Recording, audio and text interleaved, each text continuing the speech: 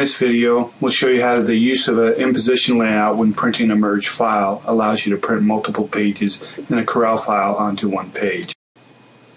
Okay, let's go ahead and get started. In the last video, I showed you how to lay out your template and then do your print merge function. We had 652 names and we merged it all onto one new file. Um, for this demo here, I've shortened the list down and created the list down to 68 plates. So how do we get 68 plates instead of printing out 68 pages and doing each individual plate? We can use the imposition layout within the print command to facilitate this. So we've got our 68 individual plates. We'll want to go ahead and file and print. Select your printer. In this case here, we'll just have a LaserJet. It's kind of the same thing as maybe using your sublimation printer.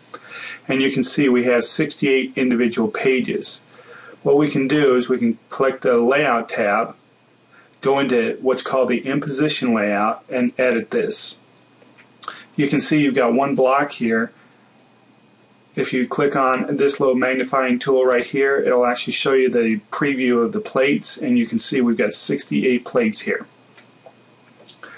So what we can do is this was a 3 inch long plate. Let's say we've got an 11 inch wide plate uh, paper so we can get at least three across and we can get um, eight down. And you can see now what just happened is page number one was right here number two number three so on and so forth. We got 24 individual play, paper pages onto one piece of paper. Now you can see I've narrowed it down to just three pieces of paper that we can print out. Once you finish this scenario here we can go ahead and close this down and we've got our pieces of paper. You can see we've got three separate pieces of paper. Before we print it out though, how do we know where to start and stop cutting our plates?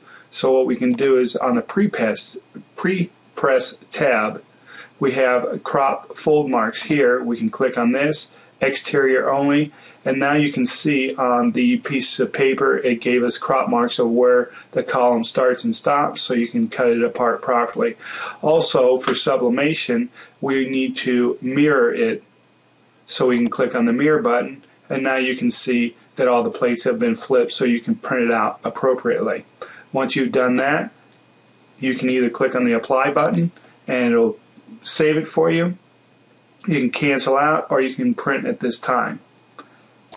And that's about it, just using the print imposition layout.